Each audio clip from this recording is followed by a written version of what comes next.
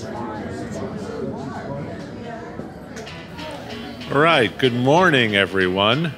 Today's film, Art Bastard, is a interesting, offbeat story. Uh, it's a New York story, and it's the story of an artist.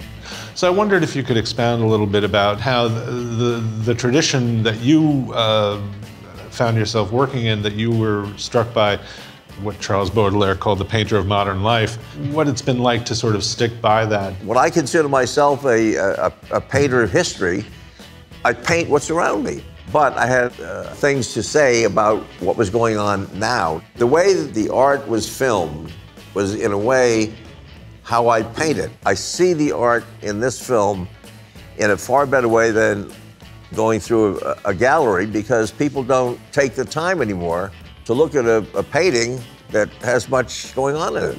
One of the images in your Yes Art show was of the uh, then very influential art critic Henry Geldzahler. The critics and those establishment figures, they certainly do figure in what the creation of the contemporary art narrative that you were excluded from was. And I wondered if you'd elaborate a little about that aspect of the art world narrative. The great frustration uh, for me over the years, it's just like I don't exist in the art world.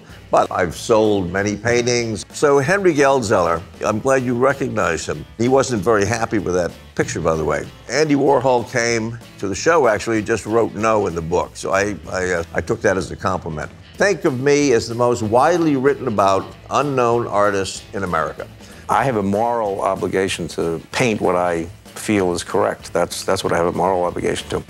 Given the note on which the movie ends, with some of the images from your bigger canvases, I think a natural question that occurred to me was uh, have you been applying your brush to uh, some of the recent political phenomenon going on? And will you be painting about the Republican convention?